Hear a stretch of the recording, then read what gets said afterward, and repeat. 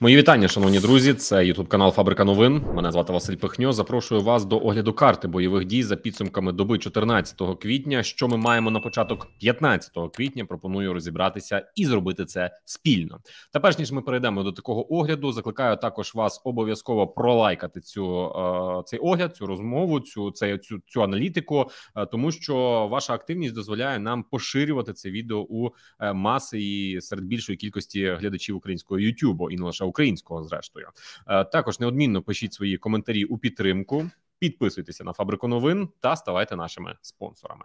Традиційно використовую карту ресурсу Deep State для того, щоб показувати все, що маємо на фронті. І до речі, аналіткою хлопців із Deep State також активно користуюся, та не лише їхньою аналітикою. Аналізую всі публічні наявні дані. Насамперед, звісно, що генеральний штаб розпочну з того, що е, як вам відомо, на жаль, противник впродовж минулої доби е, завдав 6 авіаційних та 19 ракетних ударів. 13 із них із зенітно-ракетних комплексів С-300 шаленої руйнівної е, здатності по мирних містах, таких як Слов'янськ та Краматорськ. Ось це фото зображення саме міста Слов'янськ, е, куди прилетіло е, в район школи номер 8 Там пролунало щонайменше сім вибухів, і ось такі вирви у трьох п'ятиповерхових будинках утворили ось ці прильоти семи ракет С-300. Місто Слов'янськ. На жаль, там є жертви. На жаль, підрахунок це ще ведеться, і на жаль, ворог продовжує ось цю людожерську тактику ударів по цивільному населенню. Знаєте, коли от е, якісь російські боти е, пишуть у коментарях, мовляв, от е, збройні сили України вдарили по Донецьку, там чи по околицях Донецька, чи ще кудись. Ви покажіть, хоча б одне фото або відео ось прильоту по житловому будинку. Покажіть. Не буду більше нічого говорити, тому що знаєте, з ними марні суперечки. Е, Тепер перейдемо до аналіз е, аналітики по е, карті бойових дій. Отже, Куп'янський Куп'янсько-Сватівський напрямок тут без особливих змін на карті, взагалі без змін на карті.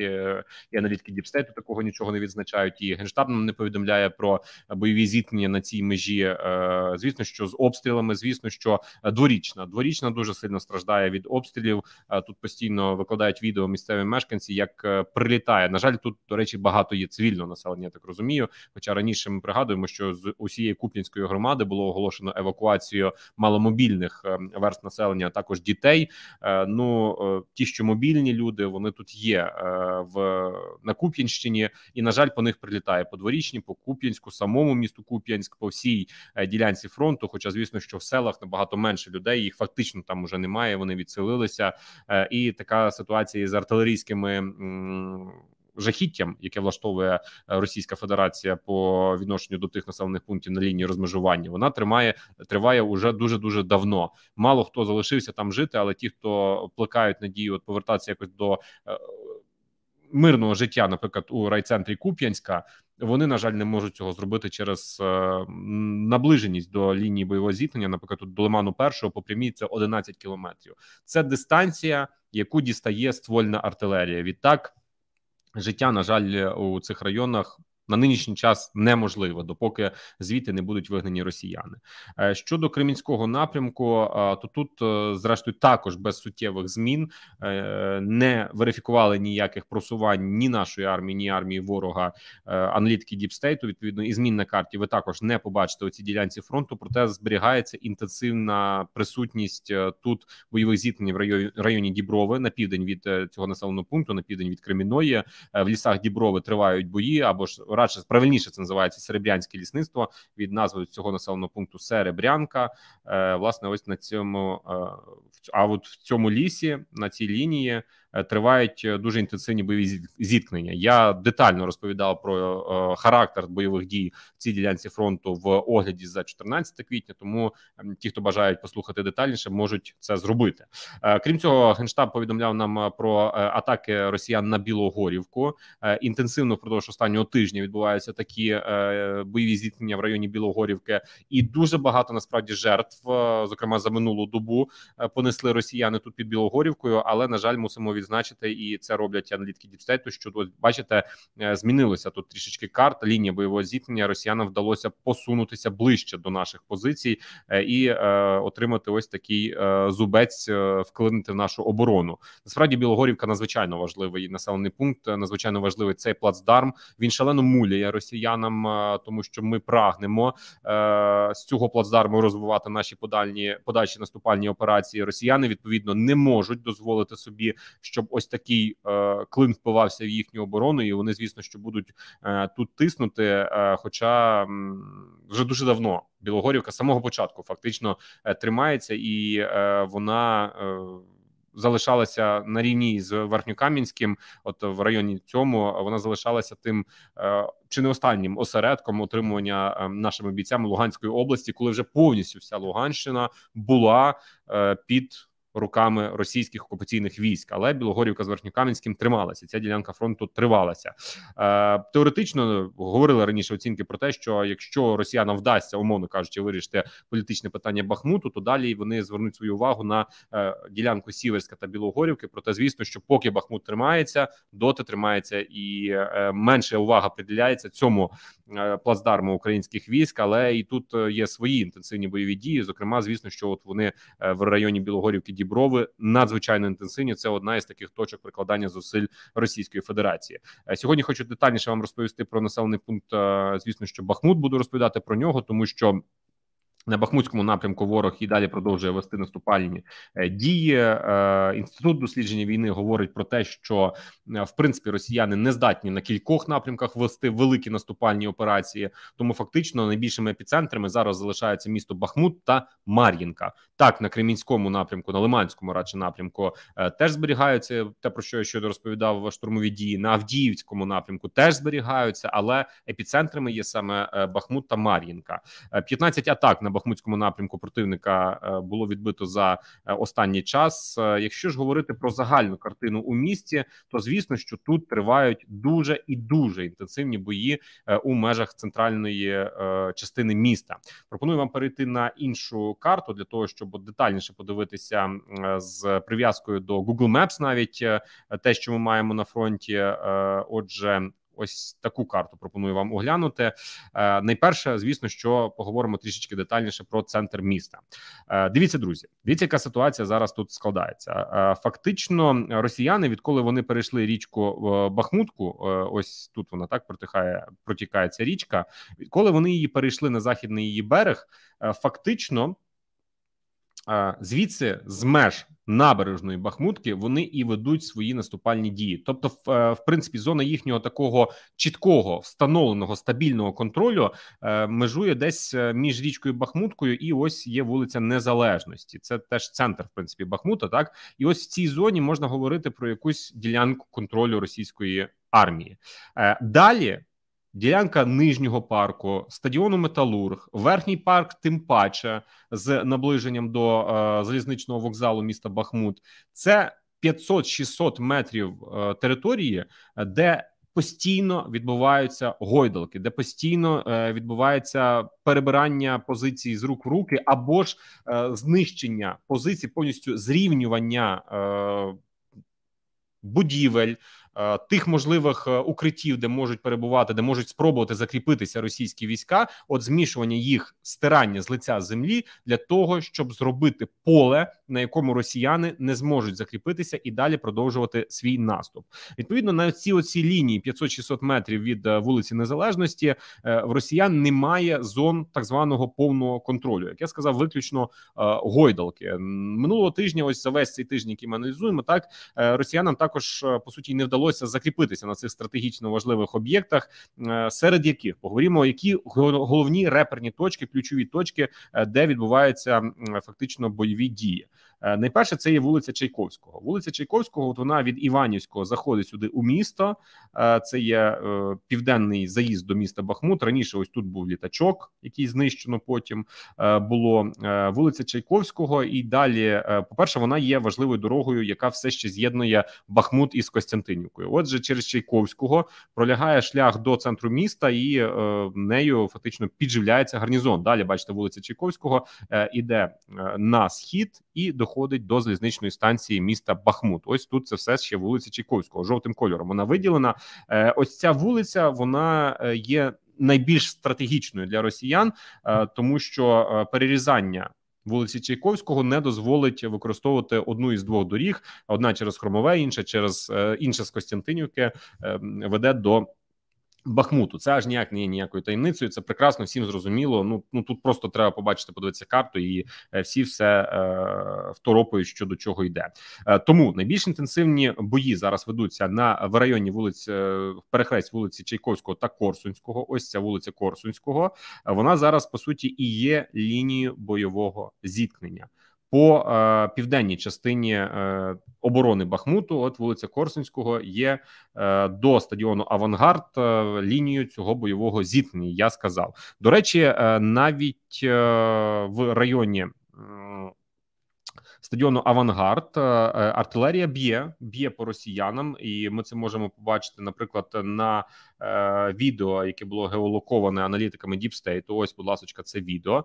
Е, власне, удари, якраз бачите, стадіон Авангард, район вулиці Корсунського, трішечки нижче неї, вулиця Бахмутська. Там є, е, і по ній прилітають якраз е, снаряди по місцю розташування російських військ. Тобто, ось така картина вся зберігається. Те про що я говорив, що росіяни не можуть закріпитися на цій ділянці фронту 500-600 метрів від на захід від річки Бахмутка. Е, все це зона ось такого ураження української ствольної артилерії. Відповідно, повертаючись до карти, е, я вже означив так вулиця Корсунського як лінія бойового зіткнення. Друга надзвичайно інтенсивна точка проведення бойових дій е, це перехрестя вулиці Корсунського та вулиці Космонавтів. Та й загалом ця вулиця Космонавтів, яка вздовж колії йде до залізничного бахмутського вокзалу, вона є суцільною лінією бойових зіткнень із російськими диверсійними групами, які сюди заходять, начебто хочуть зробити якісь селфі, повісити якусь е, якесь своє шмаття. Е, проте в них цього зробити не виходить. І фактично, ось це перехрестя е, Корсунського та космонавтів. Ось в цій ділянці, де якраз і ми бачимо навіть по цій карті, є такий випин в обороні росіян. Теоретичний, якщо взагалі малювати якісь лінії, хоча вони тут дуже нестабільні. Так ось цей це перехрестя Корсунського та космонавтів є по суті таким місцем ритуального спалення російських військ, які йдуть туди м'ясними штурмами. Ну даруйте таку лексику, але це абсолютно саме так і є.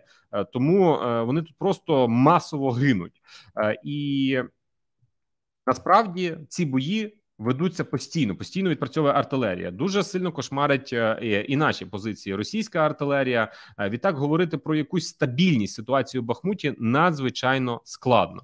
Надзвичайно складно. Вони, звісно, що переходять е, за межу залізниці на захід від залізниці. Раніше їх було геолоковано у, у цьому терміналі на захід від залізниці. І до речі, тут якраз геолокували їх за відео 93-ї бригади, аналітики Діпстейту. Е, от якраз е, позначили на цьому відео скріншоти з нього зробили велику кількість ворожої техніки, яка заходила на західну частину залізниці. Проте, вочевидь, що е, цю техніку добряче покосили, добряче побили, і вже вона там, як би мовити, так би мовити, не існує. Тому чітко говорити про якусь лінію розмежування в Бахмуті, чітко говорити про отримання позицій надзвичайно складно. Так я знаю навіть, що ми наші відео е, карти бойових дій за останні дні говоримо. Ми називаємо заголовками про те, що взяли росіяни. Залізничну станцію, потім що ЗСУ її відбили. Насправді, все це я ще раз повертаюся до цього слова: гойдалки. Тут дуже інтенсивні бої. По декілька разів е, на день е, беруться одні позиції е, і віддаються, так би мовити. Ось така тактика відбувається. По декілька разів на добу росіяни намагаються повністю перейти на правий бік залізниці. Як я говорив, зняти якісь селфі, записати відео бравадне, але знову ж таки своєю ганчіркою Вагнера сфотографуватися. Але всього цього їм не вдається зробити. Ну по суті, фактично, такий собі цухцванг утворився наразі у Бахмуті. Е, не можна сказати, що це вже повна якась стагнація е, російських сил. Ні, я з таким твердженням не погоджуюся, тому що справді зараз з різних флангів підтягнулися. Сили безпосередньо до самого міста Бахмут, е, і саме вагнерівці зараз продовжують е, штурми центру міста, тому що ну їм не шкода своїх бійців. Е, фланги Бахмута, широкі фланги в районі Соледара і в районі Кліщів, які були віддані уже безпосередньо силам ВДВшників російських, і вони там здійснюють підтримку вагнерівцям. Ну тепер фактично стоїть питання, яке хто швидше закінчиться. Чи закінчаться точніше, не так навіть е, чи закінчаться швидше вагнерівці, е, чи ми ухвалимо рішення виходити із Бахмута, тому що е, утримання його стає надзвичайно складним. Як говорять наші бійці, там є знаєте, так звані ніщачки для росіян, щоб їх не пропускати у західну частину Бахмута, які ми контролюємо чітко близько 20-25% міста. Чи вдасться ці ніщачки застосувати проти російських вагнерівців і ліквідувати їх максимально? швидко для того, щоб нічого не відбулося. Ну ось це відкрите питання. Тим паче, до речі, звертаючи увагу ще й на те, що е, фактично зараз ватажок е, вагнерівців Пригожин запропонував завершити так звану спеціальну воєнну операцію. До чого б це він? Чи раптом не через те, що в нього просто виснажується ресурс його найманців по тюрмам заборонили набороняти і е, набирати до себе бойовиків і так далі? Ну Правда ж, питання риторичне. Тому наразі повністю оцінити всю ситуацію, яка є в Бахмуті, надзвичайно складно, проте е, проте тримаються. Наші героїчні бійці тут у Бахмуті тримаються. Е, Яку тактику також застосовують росіяни? І це теж, до речі, примітно і потрібно про це поговорити. Їхній так званий воєнкор е, Коц він показав е, кадри, на яких російський танк Т-90М прорив стріляє з гармати на вулиці Садовій. Це також центр е, Бахмута. Е, Примітно, що а ці танки загнали у о, умови непритаманної роботи для них. Ну вони більше так по посадках, скажімо, працюють, але в місті. Зараз її заганяють цю суперсучасну техніку російську Т-90М е, для того, щоб вони відпрацьовували. Ну окей, це їхня тактика, е, це їхня правда, їхня філософія. Е, Б що означає ось загін таких танків у місто? Є дані про те, що, начебто. Насправді, ось такі танки, і ми раніше бачили відео їхнього знищення, мали би бути на сватівському напрямку. Проте зараз вони з'являються у Бахмуті. А що це в свою чергу означає? Що сили із сватівського лиманського напрямку зараз перекидають на Бахмут як на велике політичне завдання, яке має виконати армія Путіна. Е, Відповідно, цим послаблюють резерви північно-луганського фронту, що створює нам свої певним чином переваги. Так само раніше були дані, що з Кремінського фронту перекидали сили на е, Авдіївський напрямок, тому що там були якісь ефемерні такі бачення того, що російська армія може здійснити е, охоплення наших військ у Авдіївці. Е, хоча до цього питання, до речі, ще дійдемо. Вони вочевидь цю шалену ідею не покинули. Але повертаючись все ж таки і завершуючи із темою Бахмута, е, я покажу відео зведеної тактичної групи Адама, яка у Кліщівці ну просто фантастично розбиває позиції російських військ. Чотири САУ Нона за останні два тижні. Ну і ось зараз додається ще російський міномет Васильок, який називається це. Я ще раз повторюся, група Адама спільно із 112-ю бригадою ТРО е, з їхньою аеророзвідкою. Отже, от вони знищують автоматичний міномет е, е, Васильок і переносну радіолокаційну станцію розвідки та контролю стрільби стрільби лелека. Це все відбувається у Кліщіївці. І знову ж таки ставлю наголос на тому. Ну, лелека або аїстьонок по-русски. ставлю наголос на тому, що як тридцятка на півночі, так і група Адама на півдні знищує максимально велику кількість російських РЛСок та станцій РЕБО. А це дуже хороші правильні дії е, у підготовці нашого контрнаступу. Проте є одне, але я не знаю з якого напрямку було знято на якому напрямку було знято це відео. Е, однак, е, що ми тут бачимо, я зробив скріншот із нього. Це відео, на якому російський ланцет дрон Камікадзе вражає рідкісний український радар 7 9К6 він називається Пелікан. Е, отже, його російський баражуючий цей боєприпас ланцет е, е, вражає цю радіолокаційну станцію, яка справді є рідкісною українською розробкою. Ось так от вона виглядає. Вона є станцією тривимірного огляду, призначена для виявлення цілей та управління повітряним рухом. Цей комплекс був розроблений науково-виробничим комплексом іскра українським комплексом. Але дивовижно, мені чесно кажучи, от мені не зрозуміло е, це питання, і я його буду піднімати ну, якби роблю зараз це публічно. Як так сталося, що комплекс, який має виявляти цілі та управляти повітряним рухом, допускає до себе російський ланцет? Вочевидь, питання російських ланцетів залишається все ще доволі таки значним і важким для вирішення нашим збройним силам, і це е, такий е, публічний акцент, який напевно ну мені здається, варто на ньому е, зосереджувати увагу, тому що ми втрачаємо на жаль цінні артефакти в ході нашого протистояння із Росією. Ми не можемо допускати тих помилок, яких припускаються вони. Рухаємося далі, друзі. до Авдіївського напрямку, як я і сказав, е, тут росіяни все ще не покидають своїх задач по оточенню наших військ. Е, проте на Авдіївку саму за останні 24 години вони не атакували.